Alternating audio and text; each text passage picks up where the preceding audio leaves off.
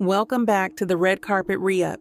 Today, we're diving into the recent feud between Cardi B and Joe Budden. From apologies to accusations, there's a lot to unpack. If you love staying updated with the latest in the music industry, don't forget to like, share, and subscribe for more exclusive content. Let's start with Joe Budden's apology. On July 20th, Cardi B took to X, formerly known as Twitter, to respond to Budden's video apology. In the video, Budden said, Cardi is on my list of people I'm going to love no matter what.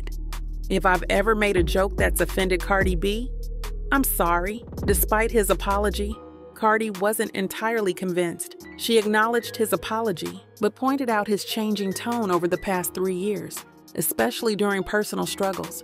Earlier this week, Cardi B called out Budden for his critical comments about her career and his ongoing criticism of Drake.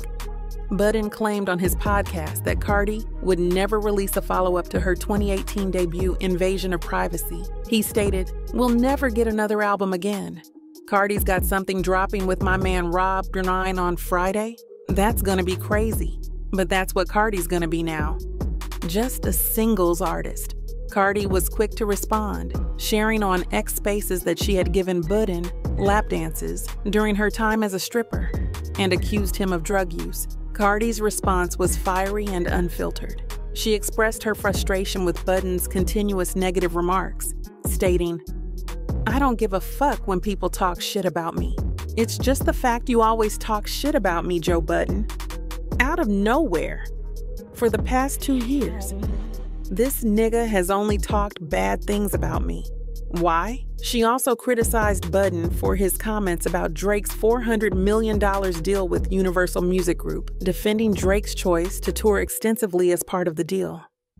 This feud between Cardi B and Joe Budden highlights the intense scrutiny and criticism public figures face, even from within their industry.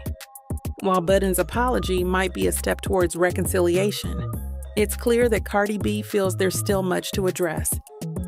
Thanks for tuning in to the Red Carpet Re-Up. If you enjoyed this video, make sure to like, share, and subscribe for more updates on your favorite artists and industry news.